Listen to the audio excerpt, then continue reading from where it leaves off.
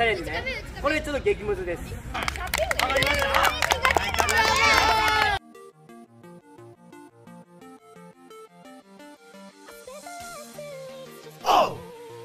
チャレンジね。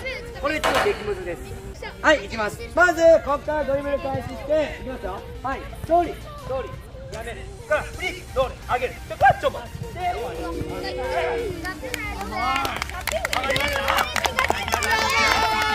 はいこれ誰が使う試合で？大好きな？ネイマールでしょ。ね。こうやってさ後ろにねずーっと逃げてるバッターじゃやっぱり男が出てる。ね。だから最後はしっかりこうやって上がりながらもどこで狙う？相手の。そう。背後ね。裏で狙いましょう。ね。だからこの時にさ今日練習した何？した最初に。そう。これをすることによって例えばだよ。じゃあ言ってイト行こう。アイトはいアイトが相手でこれをさ最初からロールしちゃうと例えばアイトがいる。ロールしようだと相手がそう詰めてきちゃうから一回こうやってターンすることによって相手の動きを止めそう止める感じ。一気ターンするしないでドンドン相手が分かるわかる？大丈夫？これを今日練習覚えた？覚えた？もう一回いくよ。ここから。いいよありがとうはいドリブル横向き相手をしっかり見ながらで一回ターンすると見つけてしな。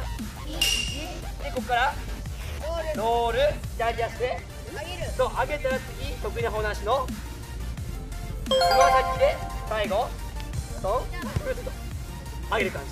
分かった。で今日みんなにチャレンジしてほしいことがあってまずじゃあ左利きね。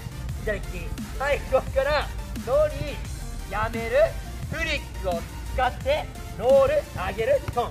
で上げる感じ。オッケー。おは正解。分かった？そう。ね。普通の選手はこれです。普通の選手。1 2普通の選手は上げてます。オッケー。スーパースターは？そうっすよね。スーパースターは最後。1 2ロールチョン。グッと回る。で最後オッケー。皆さんどっちになりたいですか？どっちになりたい？普通の選手か。天才スーパーサイズって。天才スーパーサイズ。でしょ？天才スーパーサイズになりたいでしょ？だから最後はしっかり。右手の選手は？左肩から？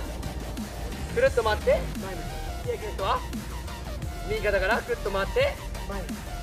OK これ最後意識して覚えました？はい